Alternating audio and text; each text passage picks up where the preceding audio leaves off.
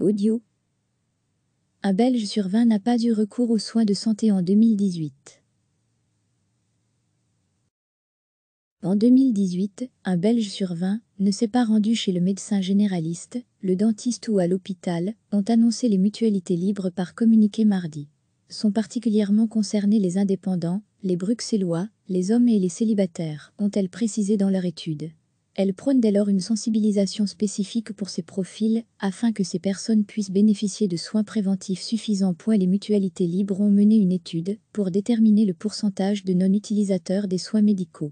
Ils étaient 5,4% en 2018, soit une baisse par rapport à une étude similaire en 2010 où ils étaient 7%.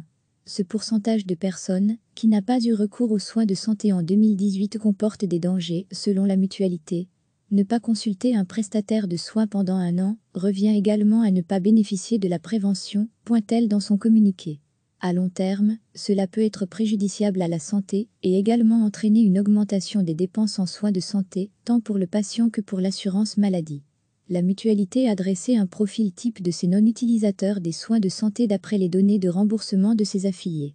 Il s'agit principalement d'indépendants, 20% des non-utilisateurs le sont, d'hommes, 70%, de bruxellois, 33%, de jeunes, âge moyen de 34 ans, de célibataires, 60%, et de personnes à faible revenu, soit un revenu médian des non-utilisateurs de 23,687 euros en 2018.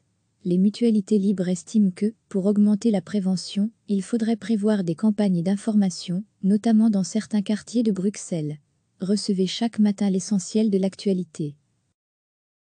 Cliquez sur s'abonner pour recevoir les dernières nouvelles.